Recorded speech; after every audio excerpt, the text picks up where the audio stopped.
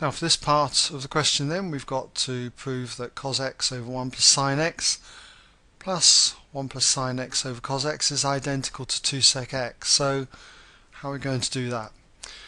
Well first of all anyway what we should do is write down proof alright, and copy down say this left hand side. So just going to copy that down. You could actually write just LHS if you like for left hand side. Um, I personally prefer just to write the expression down so we've got that. And what is this identical to? Well we've got to get one term over here. So I've got two terms. So the first thing I want to do is create one term by putting it all over one denominator and that denominator will be something that these two go into which is going to be cos x multiplied by 1 plus sine x so we'll start off with that so what do I multiply the bottom here by to get this? Well, it's cos x, I need to multiply the top by cos x, so that gives me cos squared x.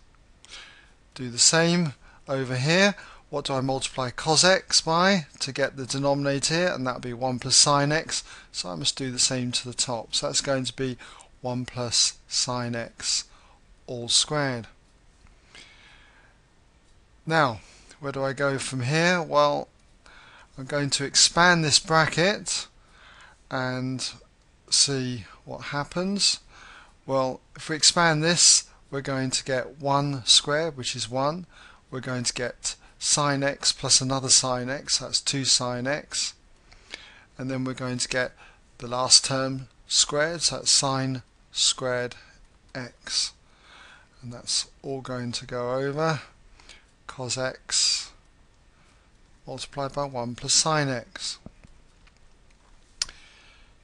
Now I notice that cos squared x plus sine squared x can be grouped together. Remember cos squared x plus sine squared x comes to 1. So we've got 1 there for that, plus this one, plus the 2 sine x, all over cos x multiplied by 1 plus sine x. And then I can group these two together, so that's 2 and then I could factorize this. I've got 2 plus 2 sine x, so I could pull a 2 out as a common factor. So I've got 1 plus sine x. Now I've got one term on the top consisting of two factors and in the denominator here I've got one term also consisting of two factors. So are there any common factors? Yes.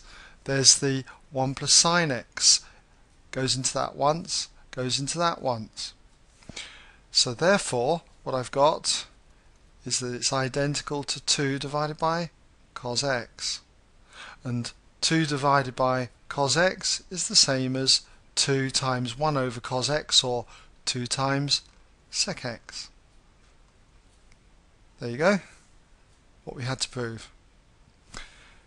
So that brings us now to the end of this part of the question.